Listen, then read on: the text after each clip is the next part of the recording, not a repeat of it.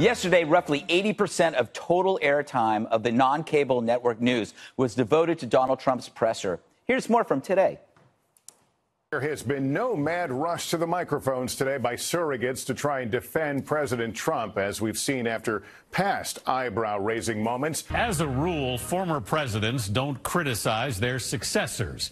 But after the violence in Charlottesville and President Trump's defense of far right protesters, former Presidents George and George W. Bush put out a joint statement today. We begin tonight with the backlash against President Trump. Several of the nation's top CEOs from companies you'll know Campbell Soup, Pepsi, Walmart, bailing on the president's business councils.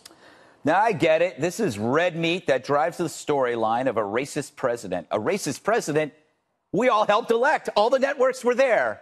It's weird. As the media pines for unity, they foment friction. Go outside for a minute, though, and everything seems fine. But turn on the TV, race war is coming. Mm-hmm. By attributing the acts of ghoulish racists to a party or large swaths of America, they steer us away from civility on toward fury. The media has different rules depending on the guy. I remember one network linking the shooting of Stephen Scalise to his voting record. How is that not condemning both sides?